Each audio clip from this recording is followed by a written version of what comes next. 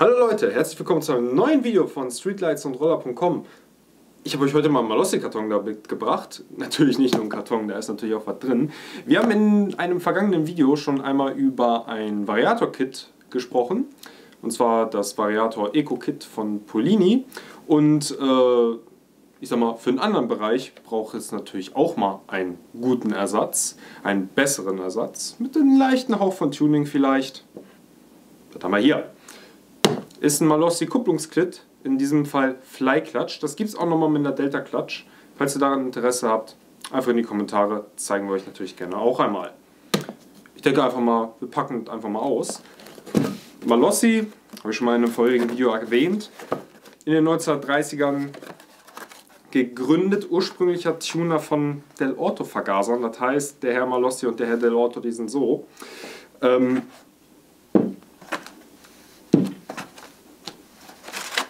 mehr drin als erwartet. Zu, schöne Kiste. Machen wir mal auf. Nehmen natürlich einen neuen Malossi Design, was Malossi jetzt hat, seitdem sie die ähm, C1, RC1 und so Gehäuse rausgebracht haben. Da haben sie ja alle so langsam ihre Verpackung umgestellt auf dieses Space Design. Macht sich auch gut in der Vitrine, wer das haben möchte. Ne? Mit dabei ist eine kleine Anleitung, damit man natürlich auch weiß, was man gekauft hat. Da ist einmal kurz der Aufbau erklärt, was die Flyclutch genau ist und ähm, alles in fünf Sprachen. Wie man die entsprechend tauscht, einbaut und eine ganz, ganz kleine Ersatzteilliste mit drei Teilen. Nicht viel, ist natürlich auch ein Komplettaustauschartikel, ne? ist kein High-End-Teil. Kleiner Stickerbogen, einmal weiß, einmal rot, man kennt es vom Malossi fast nicht anders. Ich denke mal, wir fangen mal einfach mal mit dem, na, wir fangen einfach mal mit der Kupplungsglocke an. Ähm, ihr habt vielleicht jeder von euch schon mal bei uns im Shop oder allgemein mal gesehen, ist die Standardglocke von äh, Malossi also keine MHR Wingbill oder irgendwie sowas. Ist eine ganz normale ähm, Stahlkranzglocke, steht Malossi drauf. Qualitätsmäßig ist die sehr gut, sie ist schwer, ähnlich wie die Originale. In dem Fall habe ich hier das, ich muss einmal kurz selber luschern, Piaggio, Peugeot, Honda etc. Kit ähm, dabei. Erkennt man vielleicht auch an der Verzahnung. Ja, ist er? Ja. Ähm, Unterschied zu vielleicht anderen Glocken, wenn man sich jetzt sagt, ja, ich kriege auch für einen Zehner eine Glocke. Ja, kriegt, kriegt ihr. Kein Thema.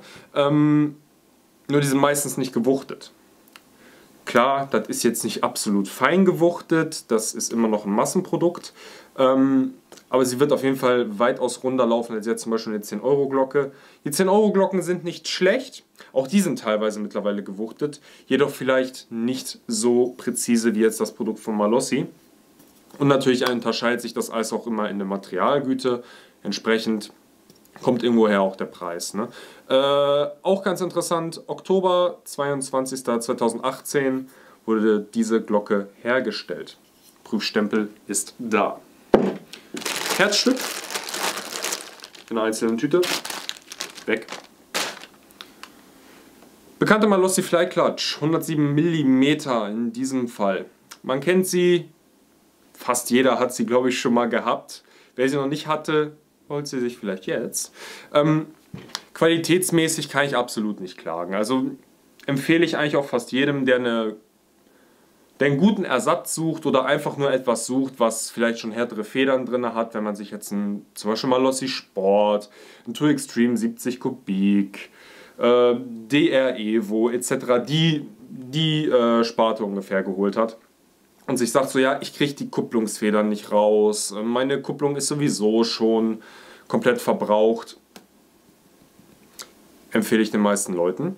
Ähm, Aufbau wie eine Originale, sprich nichts ist hier fancy, keine extra Verstellung über extra Hakenpunkte, äh, keine Schrauben drin zum Verstellen. Eine ganz einfache Kupplung vom Aufbau her, mehr Ersatz als Sport.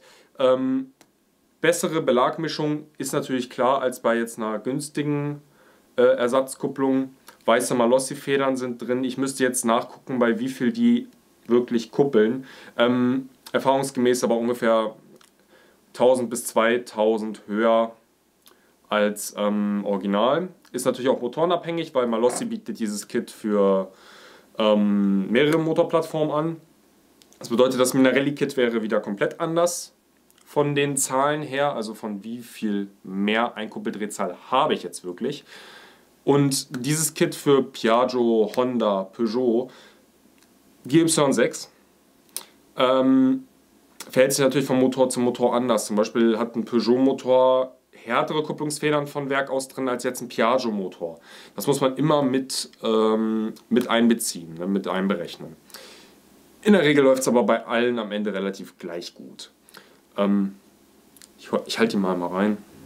Hier ist jetzt leider kein Prüfstempel drauf. Ich hätte euch ansonsten auch gerne das Datum gesagt. Aber es sind auf jeden Fall Prüfstempel auf den einzelnen Backen drauf. Aber jetzt drei Daten muss ich jetzt hier nicht vorlesen. Ähm, ist auch relativ schwer. Also es sind relativ schwere Backen verbaut. Könnte vielleicht ein Tacken leichter sein, wer es mag. Ähm, aber ungefähr wie eine Originalkupplung. Also man muss sich da absolut auch keine Sorgen machen, dass es vielleicht zu leicht ist, die vielleicht ein bisschen zu früh aufgeht. Unterstützt natürlich ein bisschen den, die äh, hohe Einkuppeldrehzahl, schwere Backen. Kann man das Ganze dadurch auch ein bisschen abstimmen. Beziehungsweise beeinflussen. Passt natürlich zusammen. Wie soll es auch anders sein? Da kann man vielleicht auch einfach mal zeigen, wie viel Abstand ungefähr dort sein sollte, weil kurzer Aus, kurzes Ausschweifen. Viele Leute fragen sich natürlich, habe ich jetzt 105 oder 107 mm? Ich hätte es jetzt gerne noch als Vergleich gezeigt, ich habe es leider nicht da. Ähm, Gibt es nur als 107 mm für die Minarelli-Motoren, nicht als 105er Kit. Ähm,